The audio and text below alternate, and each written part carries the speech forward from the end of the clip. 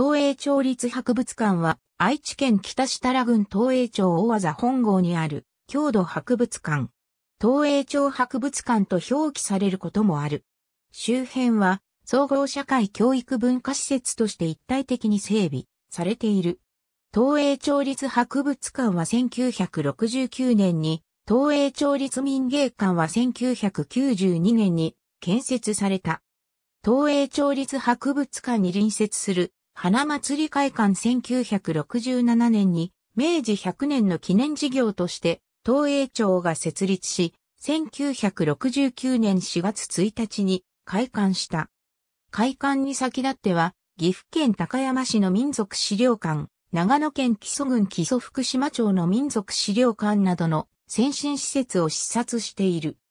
1971年頃からは愛知県内外の自治体で郷土館や民族館を設置する機運が高まり、教育委員や文化財保護委員など多くの視察者を受け入れていた。鉄骨造り2階建て。延べ床面積306.5平方メートル。1987年時点で1780点の資料を2001年時点で約2500点の資料を収蔵している。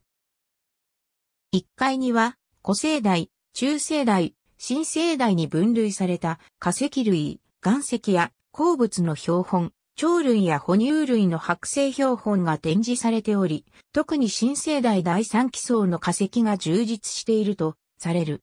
2階には、郷土視野の馬場剛が寄贈した化石薬船展が展示されている。東映町立民芸館1992年には、東映町立民芸館が開館した。かつての三河地方山間部では、生理や出産が不浄なものとされ、生理中や出産間際の女性は、家族と寝食を別にして産小屋内で自炊生活を送っていた。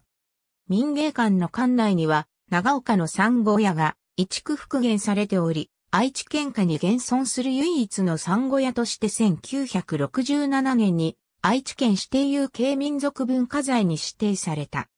かつては1884年竣工の東映町立本郷小学校級校舎を利用した民族館があったが、1992年には東映町立民芸館に建て替えられた。